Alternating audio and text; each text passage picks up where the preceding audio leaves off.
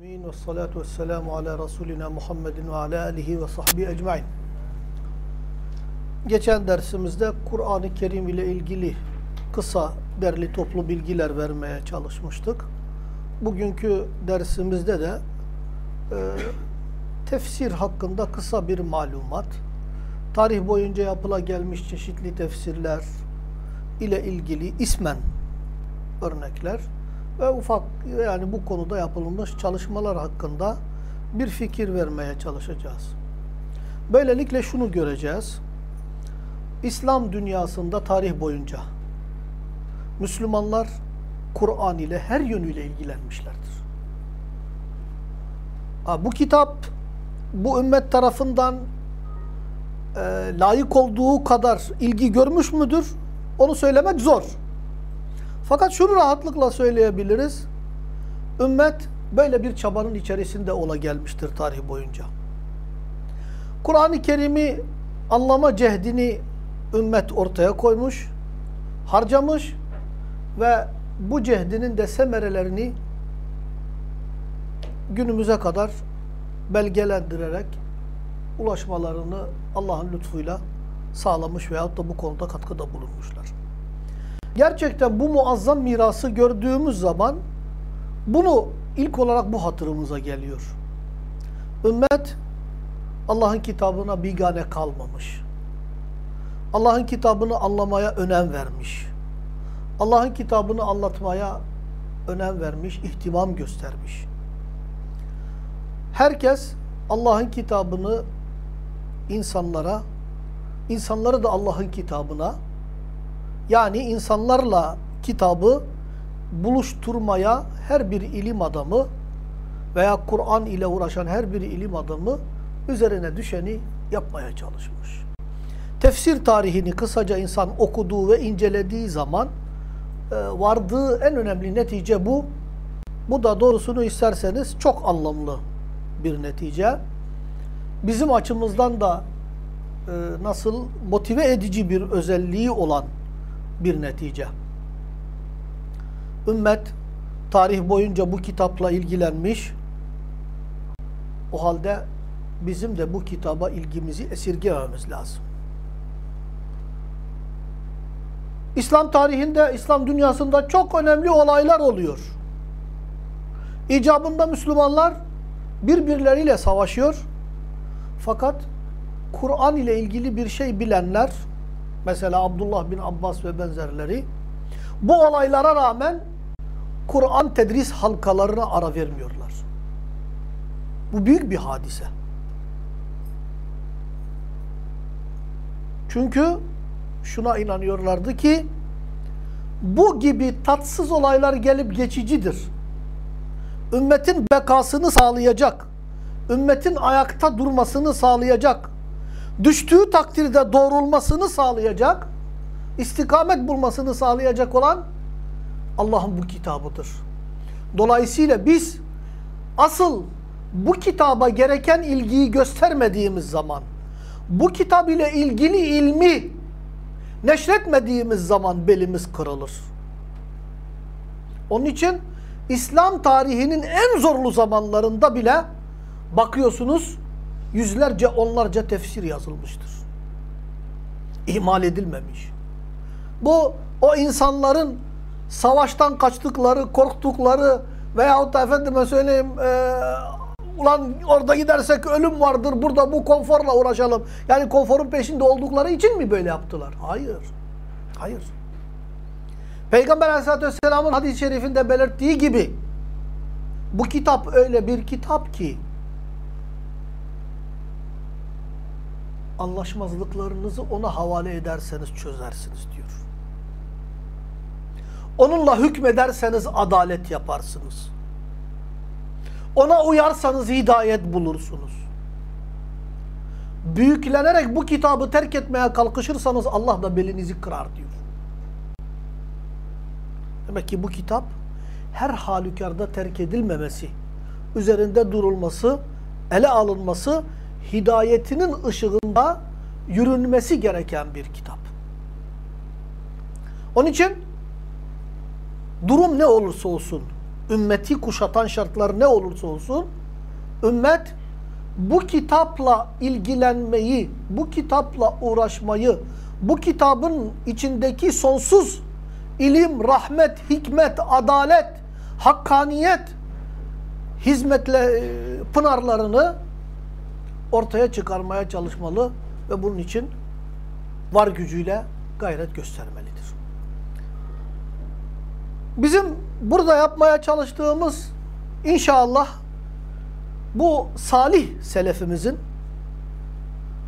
açmış oldukları yolda ufak bir çakıl taşı olabilmektir. Bu yolda gerçekten ufak bir çakıl taşı olmak bile büyük bir şereftir. Kim uğraşmamış ki Kur'an-ı Kerim ilimleriyle? Kimler uğraşmamış ki? Ya bakıyorsunuz İbn Sina gibi belki Kur'an'a İslam tarihinde en uzak düşmüş alimlerden birisi Kur'an üzerine dünya kadar eser yazmış. Demek ki şunu da kavramışlardı. Ben eğer bir söz söyleyebileceksem ve bu ümmetin beni dinlemesini istiyorsam Allah'ın kitabı ışığında onlara bir şeyler söyleyebilmeliyim. Bunu da anlamışlardı. Bir de işin bu taraf var.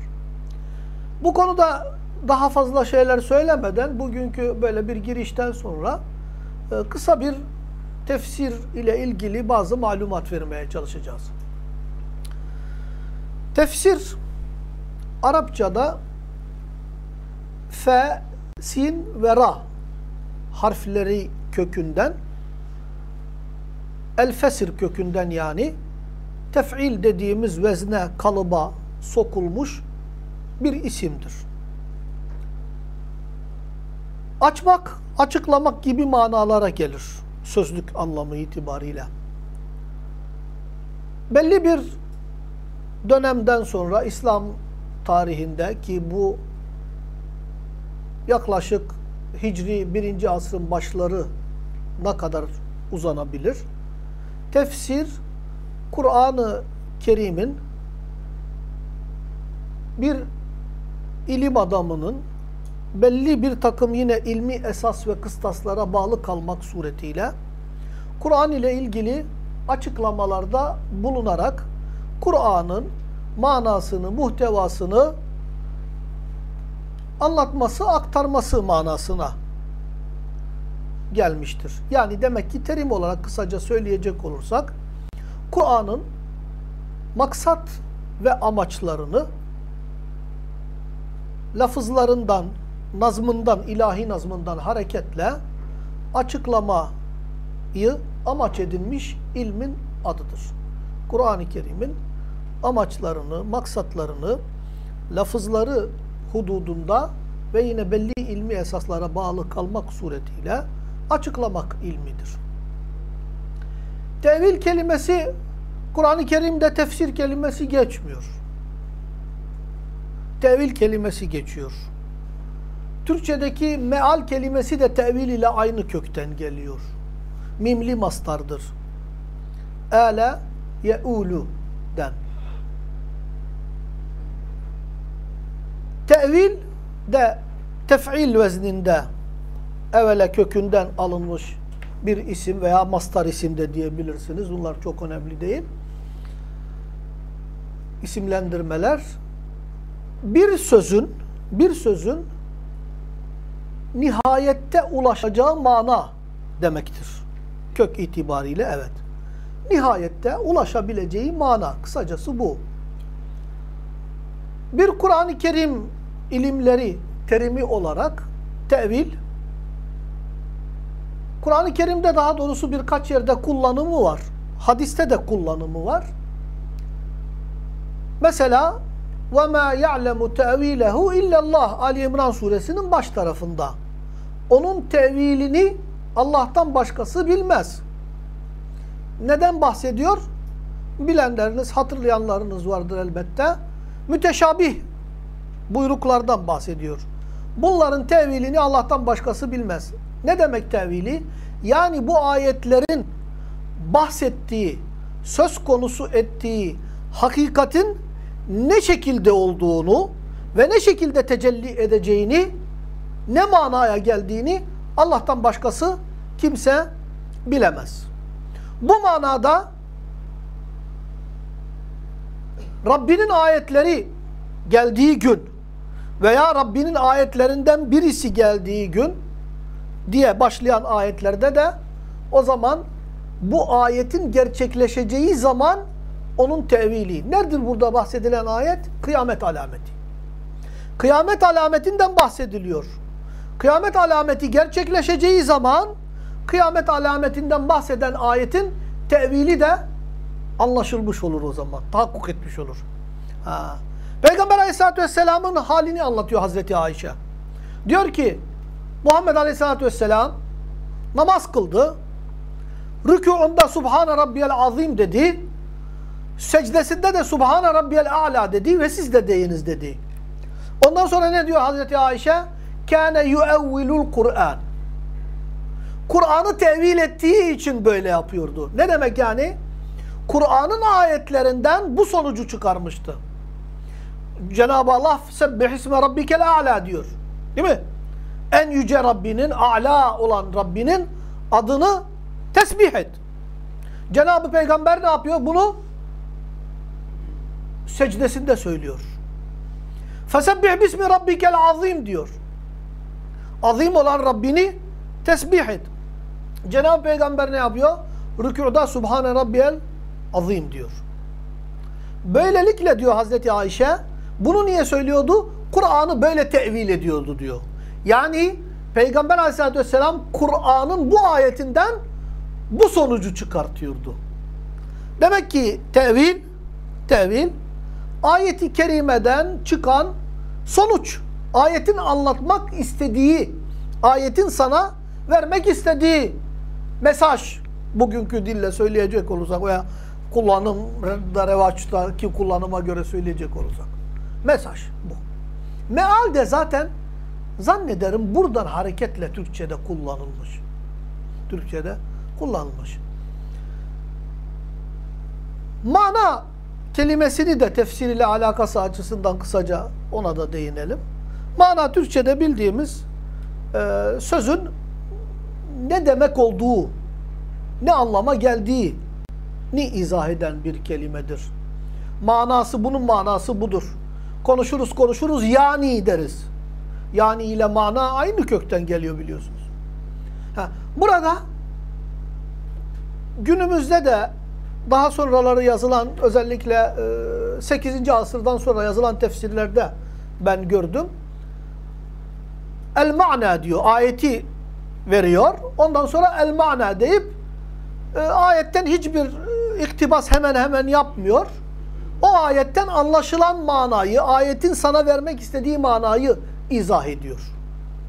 Yani mana tercüme demek değildir. E, lafız Arapçadır veya bir dildedir. Aynı dilde de siz o sözü anlamını açıklıyorsanız bu mana, söz bunu demek istiyor sana. He. Bazen bu lafzi mana olabilir, bazen o lafzi manadan çıkan öbür mana, asıl mana da anlaşılabilir. Atasözlerinde, deyimlerde, hikmetli sözlerde lafzi mananın çok fazla şeyi yok. E, etkisi yok.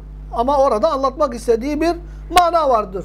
Mesela hatırıma gelmişken söz meclisten dışarı diyor ki işte eşeğe gücü yetmez semeri döver. Bu lafzi manası kastedilmiyor bundan. Bir olay bu bir temsildir. Bu temsilin anlatmak istediği bir mana vardır. Bir mana vardır. Manadan kasıt işte o eşeği dövemeyen, eşeği dövemeyen semeri döver.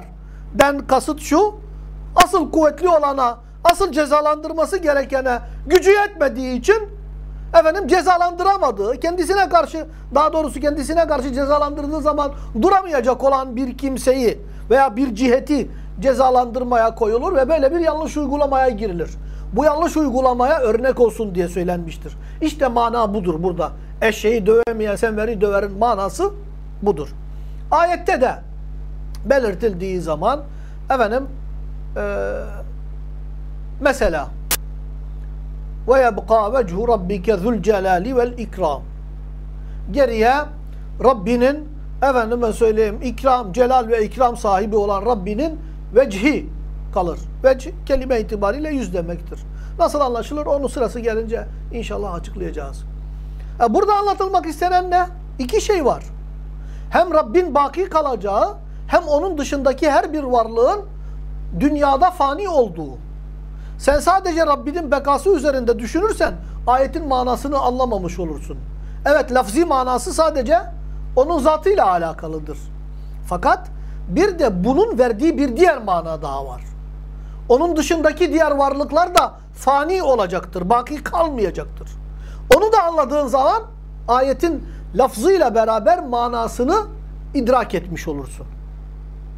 Manadan kasıt da budur. Yani mana bizi sözün çizdiği hududun kapsamı içerisinde bırakmaz. O sözün üzerinde düşünmemiz gereken şekilde düşünerek sözün anlatmak istediği diğer tali manaları, yan manaları da kavrayıp idrak edebilme imkanını verir. Mana ile ilgili de kısaca bunu söyleyelim. Tercüme. Kur'an-ı Kerim'in tercüme edilmesi meselesi ta asr-ı saadette ortaya çıkmış bir meseledir.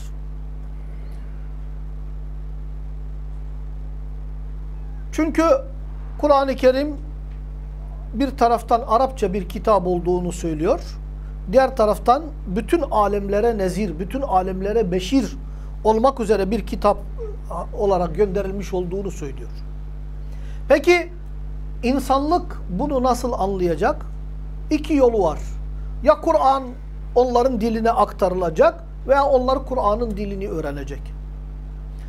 Hepsi içinde hepsi mümkün değil. Yani herkesin Arapça öğrenmesi mümkün değil.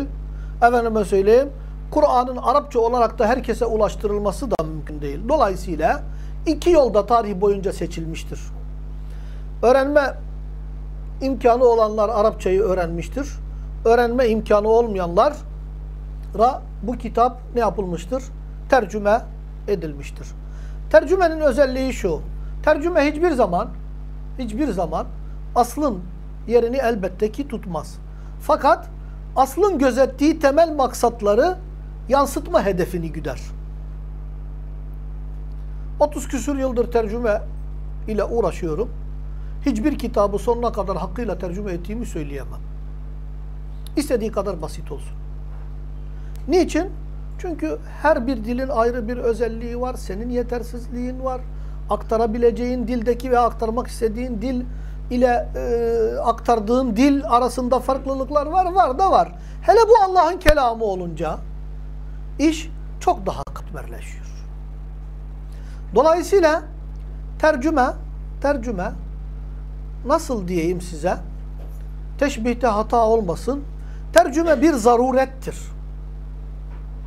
Nasıl ki zaruret halinde açlıktan ölmemek için, ölmemek için yeri gelir domuz eti yiyebiliyorsak, leş eti yiyebiliyorsak, efendim içecek bir şey susuzluktan ölmemek için e, haram içecekten başka bir şey bulamadığımız zaman o haram içkiyi içebiliyorsak, tercüme de benzetme ne kadar tuttu belki bilmiyorum ama e, bunun gibi bir şeydir. Yani bir zarurettir tercüme. Ve zaruret halinde ona başvurulması gerekir. İslam tarihinde de bu yapılmıştır.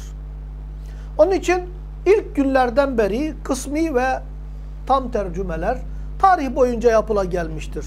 Ve halen diyebiliriz ki hiçbir misyonerlik faaliyeti olmamakla birlikte dünyada en çok okunan, en çok tercüme edilen, tercümesi de aslı da en çok okunan kitap hiç şüphesiz ve tereddütsüz olarak söyleyebiliriz ki Kur'an-ı Kerim'dir. Dünyada en çok baskısı yapılan, efendim satışı yapılan, okunan her bakımdan. Tercümesi ve aslı. İnanan inanmayan. Çünkü bu kitabın ayrı bir cazibesi vardır. Onu fark eden, onu bir şekilde keşfeden, inanın eğer peşin yargılı değilse bu kitaptan kendisini alamaz. Şimdi tefsir, tevil, mana ve tercüme ile ilgili bu kadar kısa bilgi verdikten sonra tarih boyunca tefsir faaliyetlerinden hani dersimizin girişinde söz etmiştik ya. Kısaca bunlardan bahsetmek istiyorum. Bunun çeşitli dönemleri vardır. Bu dönemleri belirli tarihi bir periyoda göre değil, karakteristik özelliklere göre dönemlere ayırmamız söz konusu. Resulullah döneminde tefsir var mıydı? Elbette vardı. Ve ilk müfessir, en büyük müfessir de Resulullah sallallahu aleyhi ve sellemin kendisidir. İşte bazen söylerler, efendim işte ya tefsir ilmi de sonradan çıktı. O zaman dolayısıyla işte genelde mutasavvuf kardeşler bunu söylerler. İşte niçin tasavvuf sonradan ortaya çıktı diye itiraz ediyorsunuz ki yok öyle değil. Öyle değil. Tefsir ilmi Allah Resulü ile beraber başladı. Kur'an'ın nüzulüyle beraber diyebiliriz ki tefsirde devreye girmiştir. Çünkü Allah Resulü Kur'an-ı Kerim'i hem tebliğ etmiş hem açıklamıştır. لِتَحْكُمَ بَيْنَ النَّاسِ بِمَا اَرَاكَ Allah bir manada sen Kur'an'ı tefsir edesin diye manasındadır. Senin o vereceğin hüküm Kur'an'ın bir tefsiridir. Biz sana bu kitabı insanlar arasında buraya İnsanlar arasında Allah'ın sana gösterdiği şekilde hüküm veresin diye indirdik diyor. E Allah'ın ona gösterdiği şekilde hüküm vermek nedir? Bizatihi bu Kur'an'ı tefsir veya tevildir. Az önce verdiğimiz Hazreti Ayşe örneğinden nedir o uygulama? Kur'an-ı Kerim'in bizatihi tefsiridir. Bu kadarla mı? Hayır. Ashab-ı kiram geliyor. Ya Resulallah اَلَّذ۪ينَ آمَنُوا وَلَمْ يَلْبِسُوا اِيمَانَهُمْ بِظُلْمٍ ayetini geliyor soruyor.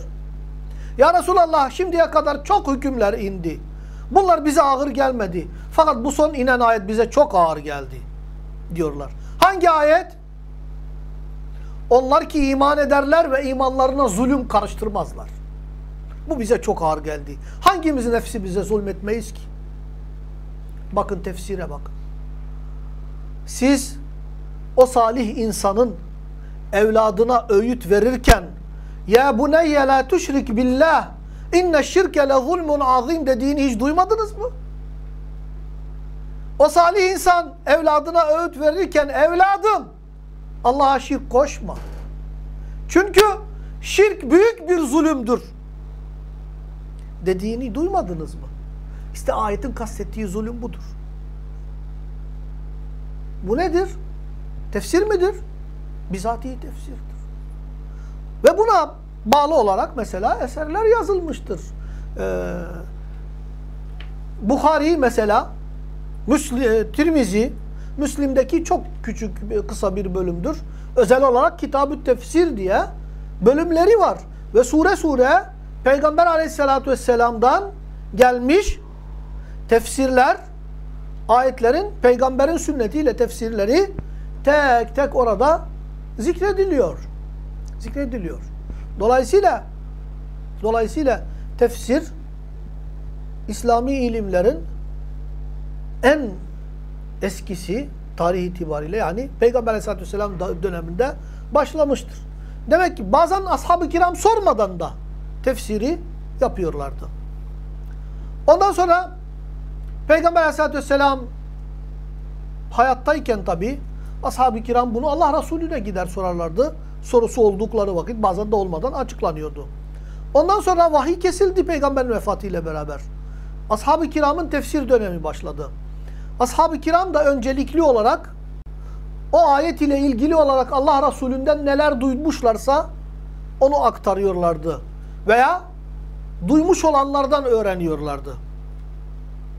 Bir örnek şu anda hatırıma geldi onu arz edeyim.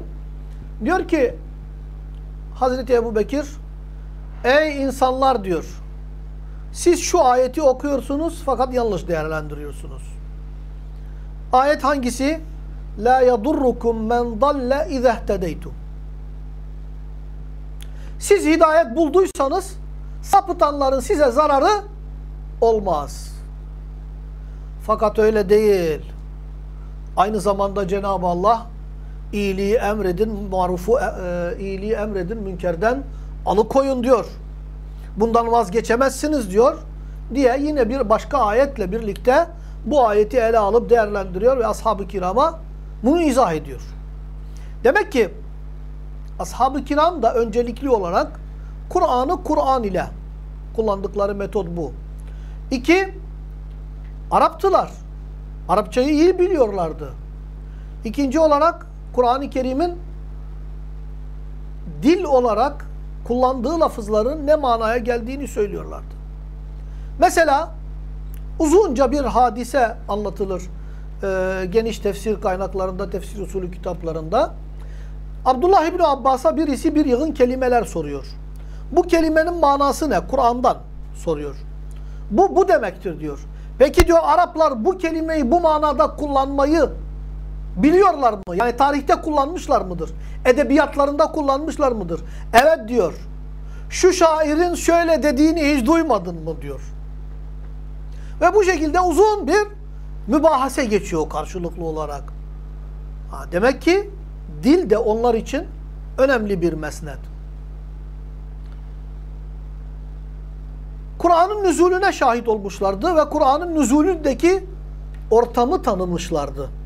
Dolayısıyla ayetlerin belli bir sebebe bağlı olarak nazil olanları hakkında da gerçekten doyurucu yeterli bilginin onlar vasıtasıyla bizlere kadar geldiğini görüyoruz. Demek ki sahabe döneminde de tefsirin önemli karakteristik özellikleri. Bir, Kur'an Kur'an'la tefsir ediliyor. Sünnet-i Seniye ile tefsir ediliyor. Arap dilinin esaslarına göre tefsir ediliyor. Bunlar vazgeçilmeyen esaslar.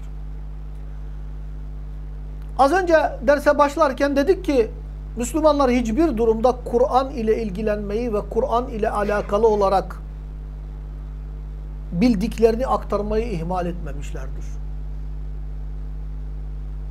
Yerine gelmiş Sıffin ve Cemel hadiselerinde bile Müslümanlar orada çarpışırken birbirleriyle bunlar tefsir anlatmışlardır. Kur'an'ı anlatmışlardır.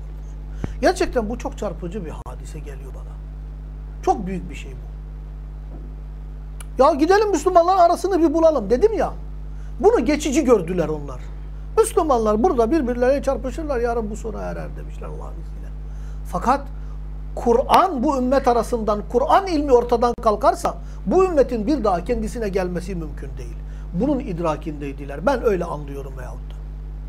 Bunun idrakinde oldukları için Kur'an öğrenimine, Kur'an tedrisine bir lahza olsun ara verilmemiştir. Çünkü Kur'an'ın bu ümmet için ne kadar hayati bir önem taşıdığını biliyorlardı.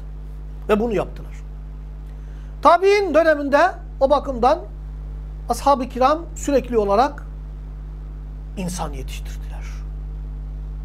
Ve tefsir konumuz ile alakalı olarak önemli olarak ashab-ı kiramın tabi'in döneminde üç ana merkezde üç ana merkezde büyük müfessirler yetiştirdiklerini ve bunların görüşlerinin günümüzdeki taberi başta olmak üzere rivayet tefsirlerinde görüşlerinin yoğun bir şekilde yer aldıklarını görüyoruz.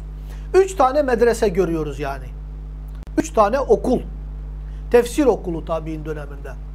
Birisi Mekke'de. Bunlar ağırlıklı olarak Abdullah bin Abbas'ın öğrencileri. Çünkü Abdullah bin Abbas Mekke'de ve bazen Taif'te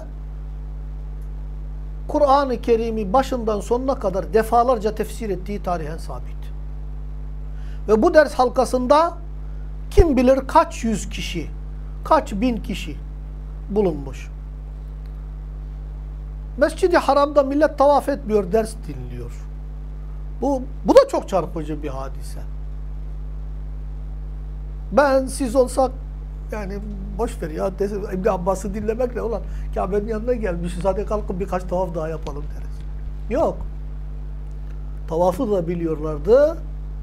Yerini biliyorlardı. Kur'an'ı öğrenmenin de ne demeye geldiğini biliyorlardı. Bunlar önemli şeyler.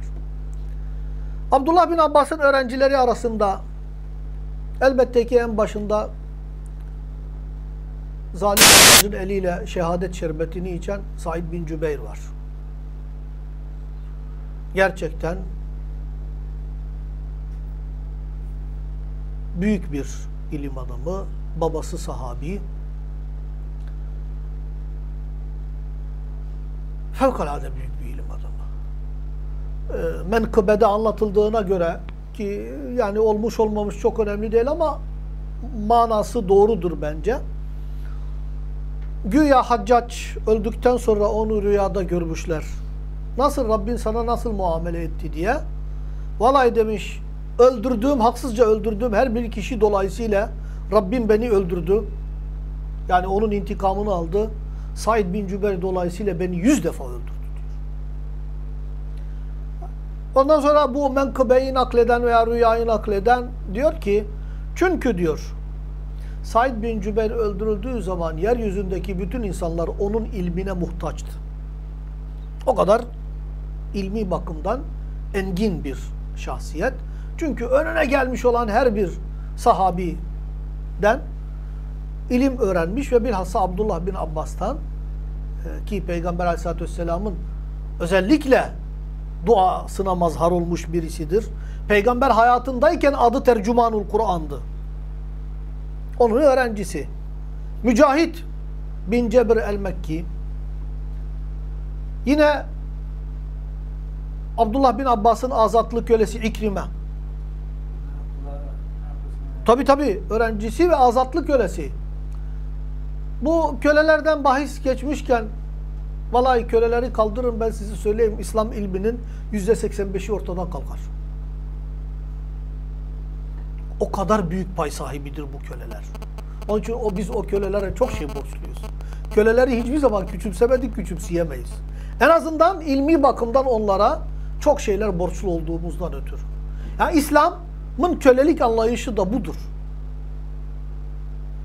Yani günümüz çarpık zihniyeti İslam'ın bu müessesesini idrak edemediği için İslam'da kölelik vardır diye veyahut da olmuştur diye küçümsemeye kalkışırlar.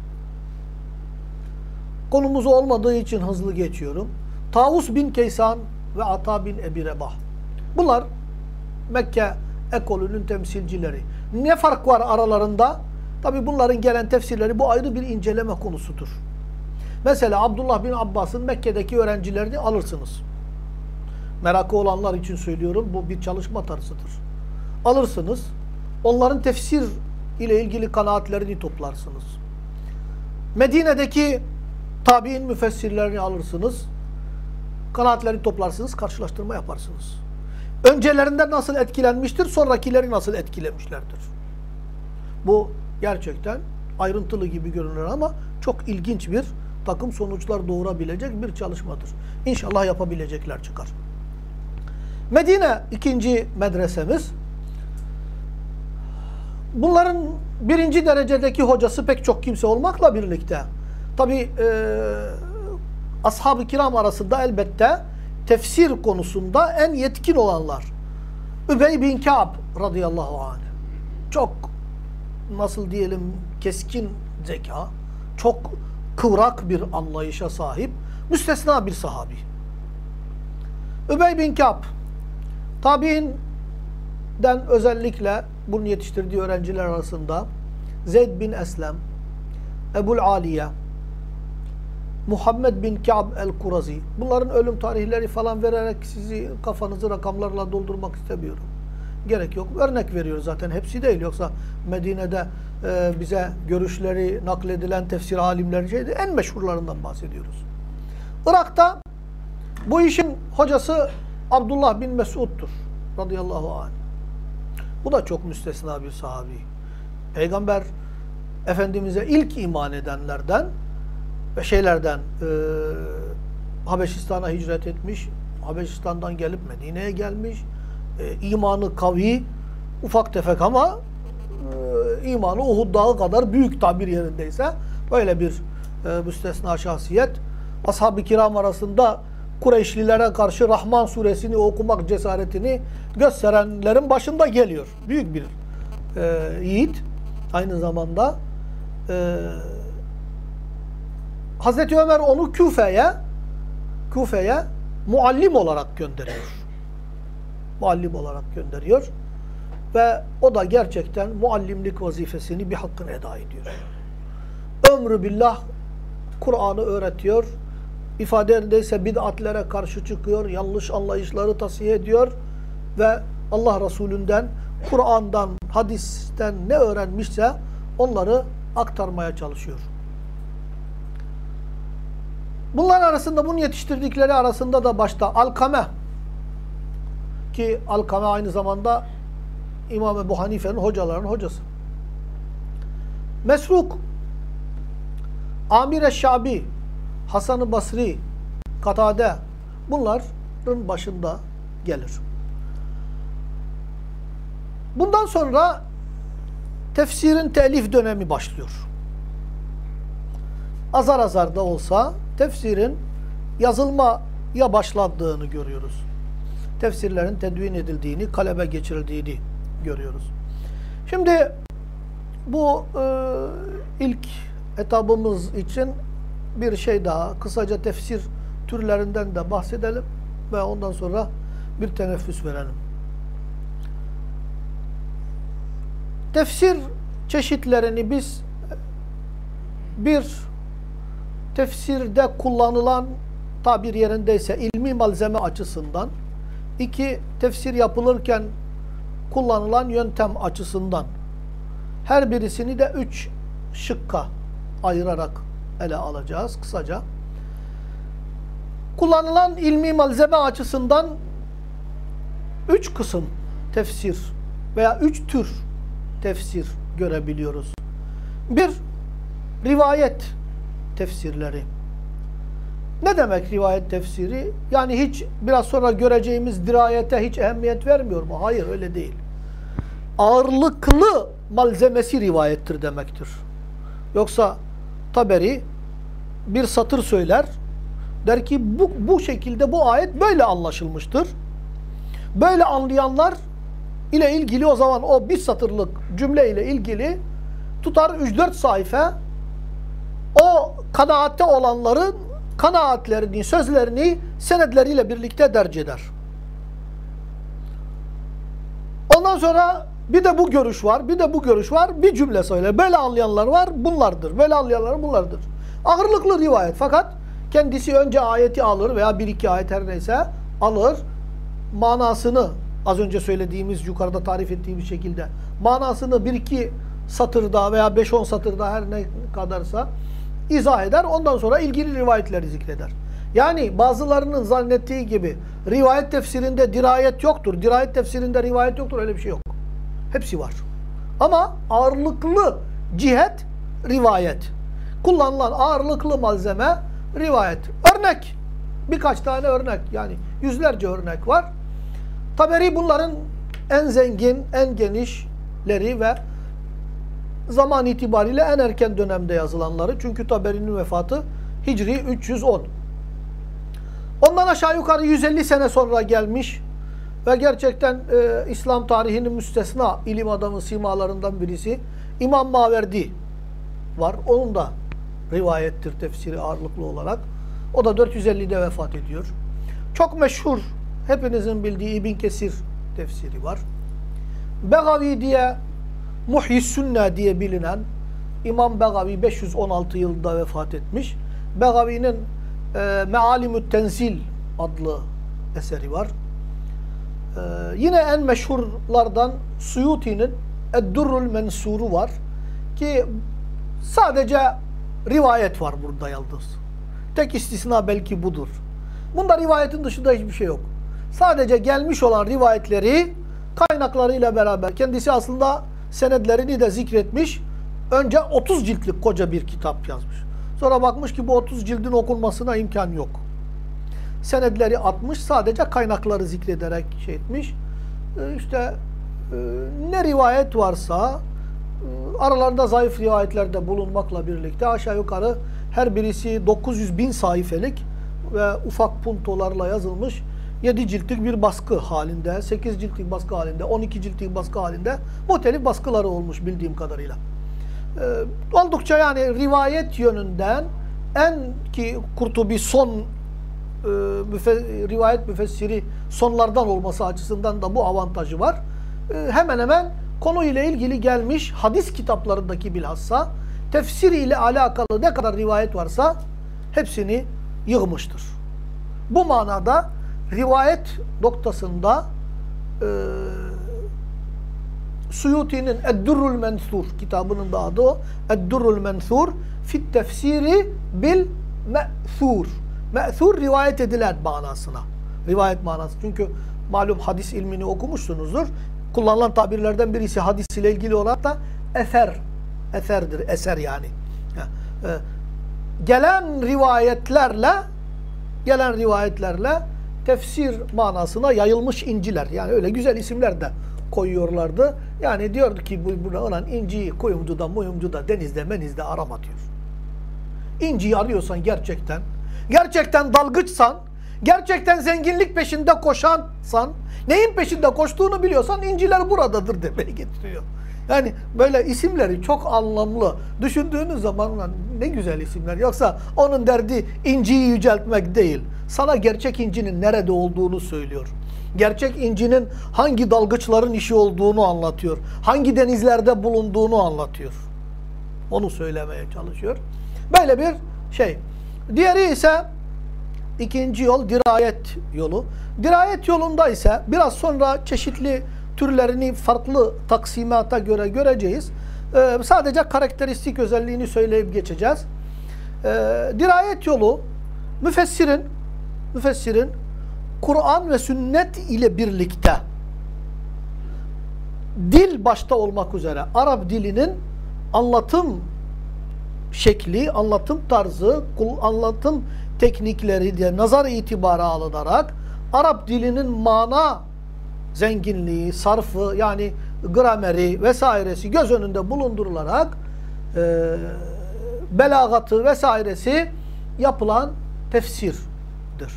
Bu da ve bir de müfessirin, müfessirin bizzat kendisinin bütün bunlar ışığında ayrıca anladığı belki de e, tefsirin şartları sayılırken mevhibe-i ilahiye diye sayılan bir şart vardır kendi ilahi mevhibe Allahü Teala ona ne vermişse, nasıl bir fütuhat açmışsa onların söyledikleriyle birlikte bunlar şey diyor. Yani e, mutlak manada rivayetsiz bir tefsir olmaz.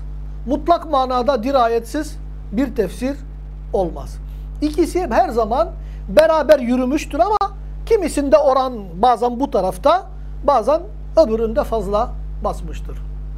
Bir de rivayet ve dirayet yollarını dengeli bir şekilde kullanan tefsirler de var.